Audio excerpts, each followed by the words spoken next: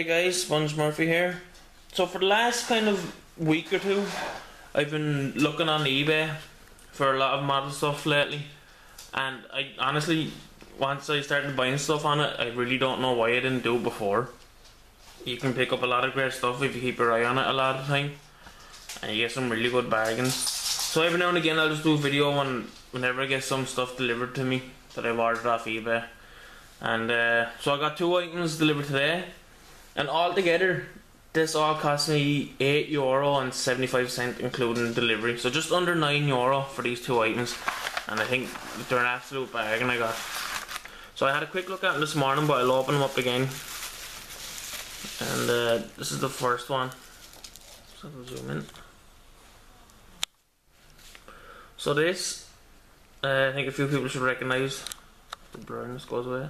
This is the Island of Blood Skaven Warlord that comes with it. It's the guy with the banner on his back, and then you get the front piece like this. His chest and his two arms. So I already have one of these. I'm pretty sure I've showed in a few videos, so I'll paint it up. But I wanted to get this one. This only cost me the starting bid was 99 cents, and I was the only bid to get it. So I practically got this guy for a euro.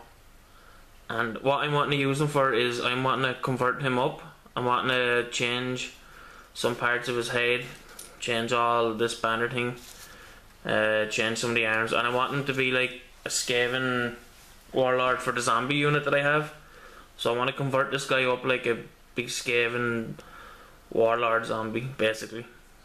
So whenever I, I have a few more vampire counts bits to do, so whenever that's done, I'll move on to this guy eventually.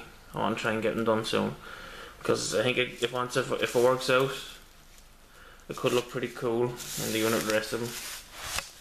So the second thing I got, and I think this is the bargain of the year. I think for me for definite. So that the other one was a euro. I think it was two euro to get delivered. So this one was basically just over five euro to get. And look at that, it's the Skaven Army book. This only cost me three seventy five and then it was like two euro for delivery. So I didn't have a Skaven army book before this. So and it's in really good condition. The only kind of mark I can see is like down on the bottom a little bit, but it doesn't even like affect it affect it that much. There's no marks on the back of it. There's no writing. There's no torn pages or anything. So, so I'm really looking forward to reading through all this. Uh, the rules a little bit, yeah, but mostly like the fluff and all about the characters. You know, all about the start of it. So, so basically that's it. That's my eBay loot for this video. I got an army book, Skaven army book, and a Skaven warlord, all for just under nine euro. So if that's not a bargain, I don't know what is. So uh, if any of you guys have ever bought stuff on eBay, really good bargains like that, put it in the comment section below. Let me know. Um, hit the like button, and let me know what you guys think of this video, this eBay loot kind of video.